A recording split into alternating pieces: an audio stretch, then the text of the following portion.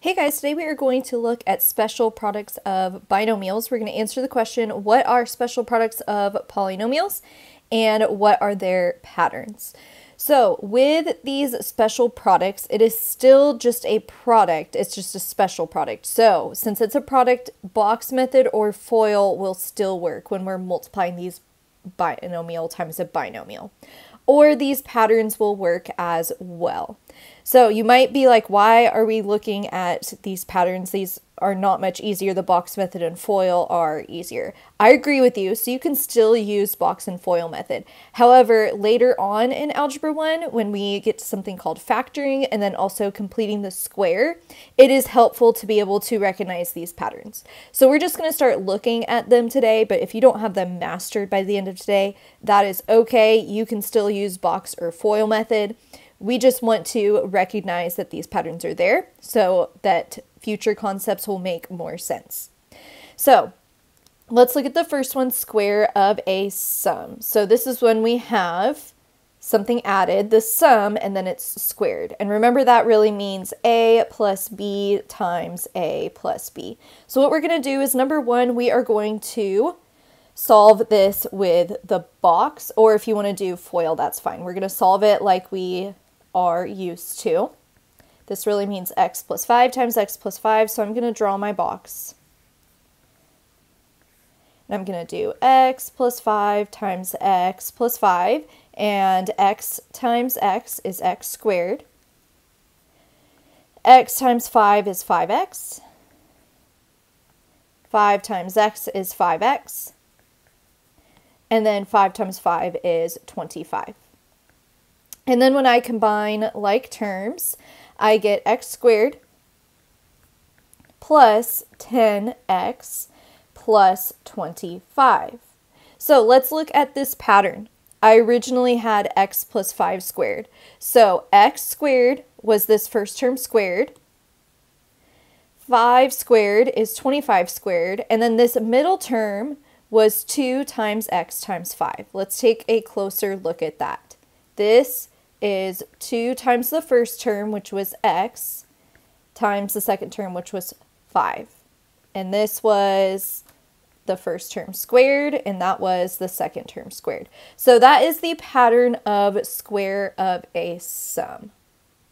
Let's see if we can use this pattern to multiply number 2. So what I'm going to have to do is I'm going to have to do the first term squared, so 3x squared, plus 2 times the first times the second. So 2 times 3x times 4, plus the last term squared. And now I'm just going to multiply these things out. So 3x squared, I have to distribute that to the 3 and the x, so it'll be 9x squared and then 2 times 3x is 6x, and 6x times 4 is 24x. And then the last term is 4 squared, so 16. So you can use this pattern if you recognize that there is a square of a sum, just like we did here. We can also still just use the box. So I'm just going to use the box on number 3. And I have 8c, 3d, 8c, and 3d. 8c times 8c is 64c squared. 8c times 3d is 24d. 3, oh, 24cd. 3d times 8c is also 24cd. And then 3d times 3d is 9d squared. So in the box, you can see that two of the first term times the second term. It's right here. We did the first term times the second term for both of these, and there's two of them. So I get 64c squared plus 48cd plus 9d squared. Okay, that is square of a sum. Let's look at square of a difference. So this is just when we have a binomial with subtraction and we are squaring it. So let's go ahead and do the box with this first one and see if we can recognize the pattern and maybe how it differs from square of a sum. So I have x minus 3, x minus 3. So x times x is x squared, so it looks like I'm still going to have the first term squared. X times negative 3 is negative 3x. Negative 3 times x is negative 3x. And then negative 3 times negative 3 is 9. And then I just combine these like terms and I get x squared minus 6x plus 9. So let's look at this pattern. I do notice that I have a subtraction, which probably comes from the subtraction in that square root difference problem. But it looks like other than that subtraction sign, the pattern is the same. I have the first term squared. My first term was x, so that first term is x squared. And then the middle term, it's subtraction, but it's 2 times the first term, which was x, times the second term, which was negative 3, which is where that subtraction comes from. 2 times x times negative 3 is negative 6x. And then this last one is just the last term squared, and negative 3 squared is positive 9. So pretty much the same pattern, we just end up with a negative sign for that middle term. So let's use the pattern to multiply number 5. I'm going to do the first term squared. This is a and b. So the first term squared would be 6p squared.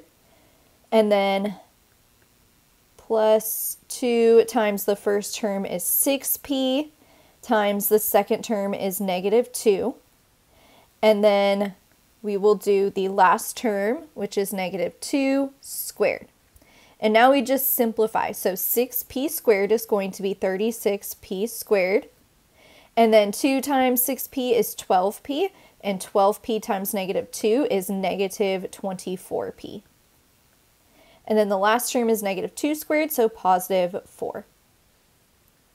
So there is using the square of a difference pattern, but we can still just use the box, which I'm going to do on number 6.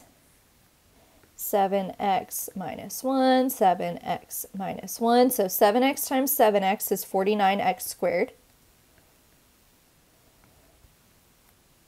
7x times negative 1 is negative 7x. Negative 1 times 7x is negative 7x as well, and then negative 1 times negative 1 is positive 1. And I just combine my like terms. So my final answer is 49 x squared minus 14x plus 1.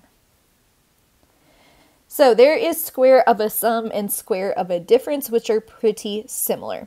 Now we're going to look at the product of a sum and difference. So this is when you have the same first term and the same second term, just one of the binomials has a plus and one of them has a minus. So let's go ahead and do the box and see if we can observe what happens.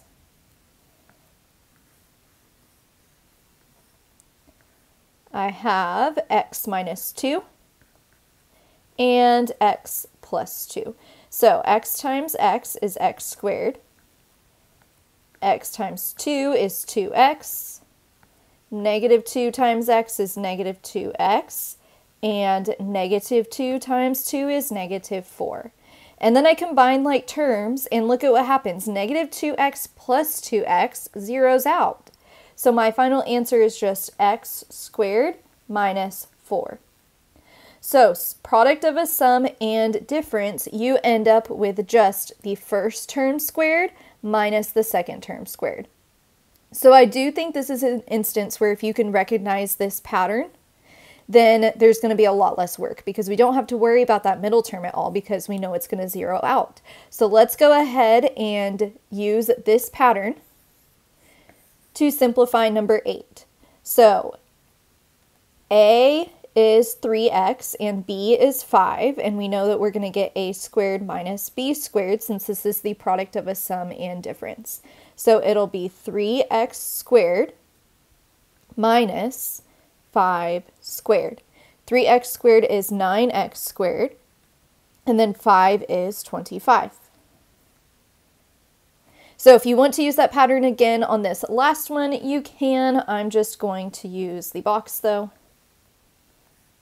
and we get 4c, negative 7d, and 4c and 7d. So 4c times 4c is 16c squared.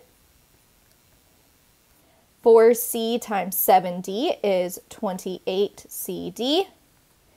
Negative 7d times 4c is negative 28cd. And negative 7d times 7d is negative 49d squared. And my middle terms are going to simplify out, so my final answer is 16c squared minus 49d squared. So there are three special products of binomials the square of a sum and square of a difference, that pattern is a little bit hard to recognize. Honestly, I'd probably just use box or FOIL for that. But the product of a sum and difference, that is a pretty easy pattern and you will see that pop back up whenever we are doing something called factoring. So for this one, I might skip the box and just use the pattern. So now what we're gonna do on these last few is we are going to determine the pattern and then we are going to multiply the uh, binomials with the pattern. So this first one, I have the square of a, or product of a sum and difference.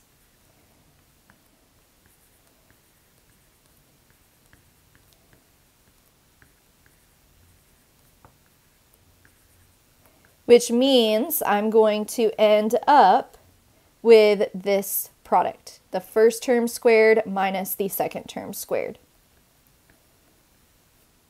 So the first term is x, so I'm going to do x squared, and the second term in each group is 10. So x squared minus 10 squared will be x squared minus 100. All right, this next one is the square of a difference.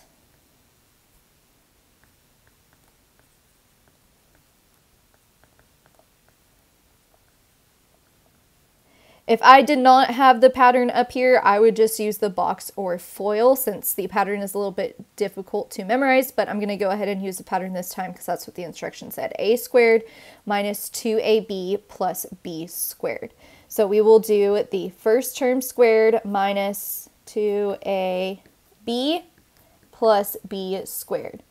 So I have to do the first term squared, so 2 fifths y squared minus 2 times the first, which is 2 fifths y, times the second, which is 4, plus 4 squared.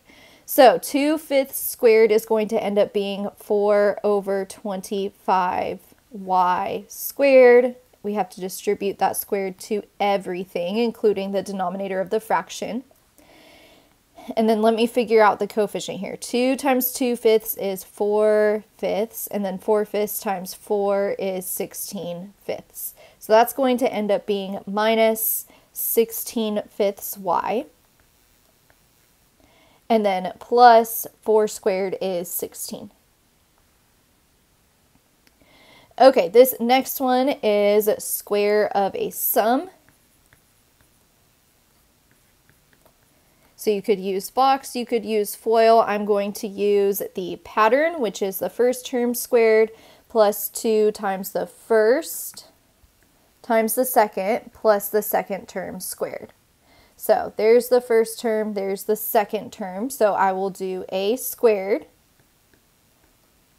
plus 2 times the first term, which was a, times the second term, which was 5b, plus the second term squared. So it'll be a squared plus 2 times a times 5b is 10ab plus 5b squared is 25b squared. Okay, and then last one, I have 2x minus 3y, and then that is supposed to be 2x plus 3y. So with that typo fix, this is a product of a sum and difference.